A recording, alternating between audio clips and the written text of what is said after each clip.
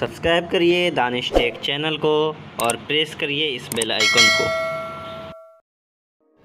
दोस्तों, आज के इस वीडियो में हम लोग जानेंगे कि कैसे आप व्हाट्सएप पे फिंगरप्रिंट लॉक लगा सकते हैं।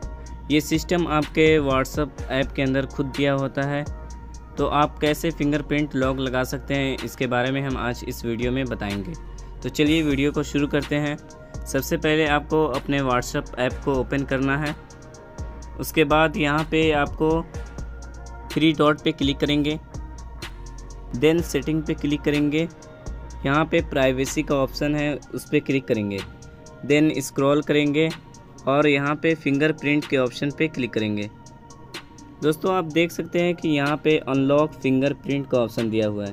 तो इसको आप ओपन करेंगे। देन यहाँ पे आपका फिंगरप्रिंट मांगेगा तो आप अपने फिंगरप्रिंट को यहाँ पे डाल देंगे। उसके बाद यहाँ पे आपको तीन ऑप्शन दिया गया है।